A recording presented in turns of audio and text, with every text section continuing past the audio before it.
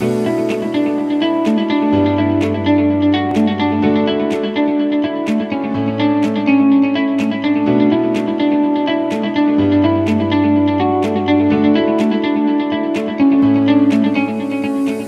DSBN Art Battle is a visual arts competition in which teams of students from DSBN high schools blindly choose three prompts, and they are challenged to use these three prompts to create a cohesive and creative work of art in less than three hours.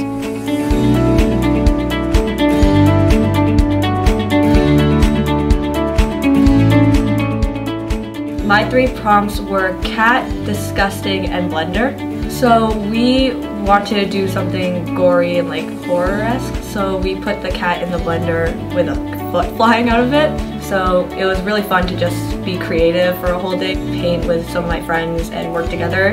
And we all had really different styles of art, but I think they went together really well. This kind of thing is really important because it brings artists together being able to be surrounded by other artists and painting basically whatever you want with maybe friends or making new friends, that was, that was pretty cool. So my three prompts were Vase with Flowers, Hollow Moon, and Stinky. And what we decided to do with them is to use them to represent a world issue that's going on right now. So currently with all the climate change and the smoke polluting our atmosphere, we use stinky in the non-traditional sense, as showing the smoke going up um, into our galaxy and our atmosphere. Schools have things like films and drama competitions where those other types of art students get to meet, but I've never been to a project like this where visual artists got to meet and explore their work and collaborate together.